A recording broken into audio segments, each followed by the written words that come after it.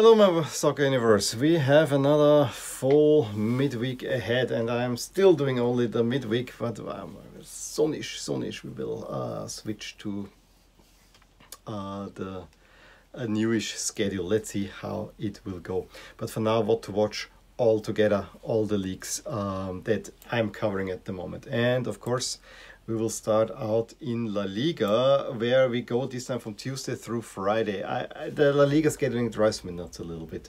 I have to have, have, have to say. I mean, first it was Monday through Thursday, and then Friday through Sunday. Now we have Tuesday to Friday with no Monday games. Oh, yeah. Um, I see Tuesday. I will drop uh, the La Liga videos. When I look at the schedule, uh, typically the standard tie would be the Barcelona derby, but you know one is on top, one is on bottom, and either way it doesn't look good of where they're going. Um, traditional duel also, Athletic Club Bilbao against Sevilla could be a huge game for Sevilla to get some points there. Uh, Getafe Villarreal is of contrasting styles, the tough, uh, defensive Getafe uh, anti-football in a way against Villarreal who play kind of this attacking football. I also think that Vigo against Atletico Madrid, although Vigo came a little bit down to earth again, could be an interesting one.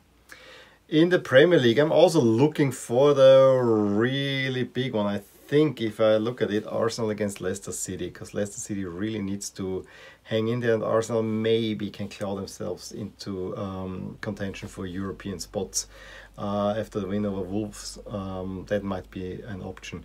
Um, other than that, I mean, Aston Villa Manchester United is traditionally a big one. There's a London derby with Crystal Palace against Chelsea and a huge uh, relegation battle between Watford and Norwich.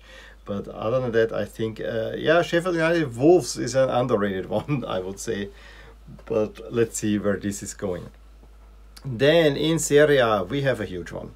Uh, Serie A at the moment, for me at least, uh, considering games, uh, makes all the headlines. Milan Juve, absolutely humongous game for uh, maybe the rest of the league, because Milan is about to uh, close in on the Europa League spots now, and if Juve gets a result here, uh, they kind of escape one of the scares that they still have left on the schedule.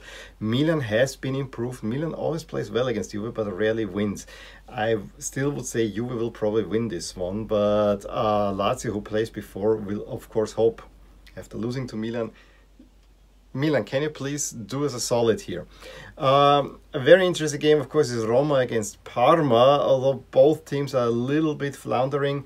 Verona against Inter, the two disappointments of the last match day. And since I'm wearing Fiorentina, yeah, Fiorentina plays against Cagliari.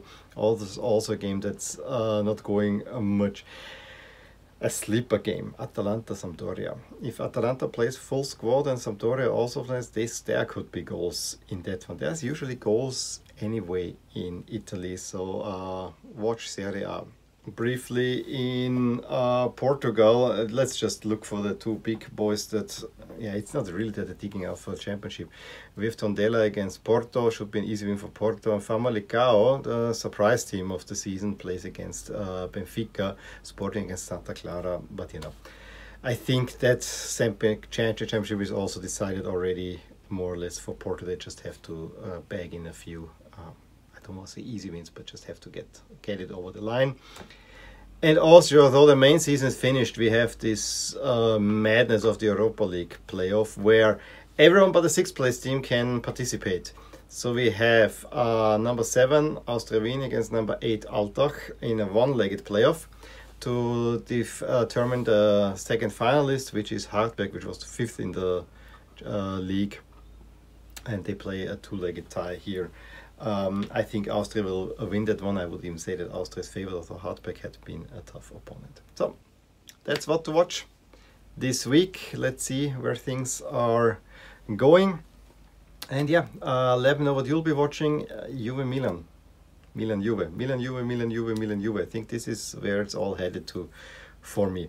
Uh, give me a thumbs up if you enjoyed this video. Subscribe to my channel if you want to see more videos like this. And I will talk to you soon. Bye. Hey there. I hope you enjoyed this video and if you did, here are some videos and playlists that would be of interest to you too. Also, please consider subscribing to my channel as it will keep you updated with all things that are rotating in my soccer universe. With that, I wish you a wonderful day. Bye.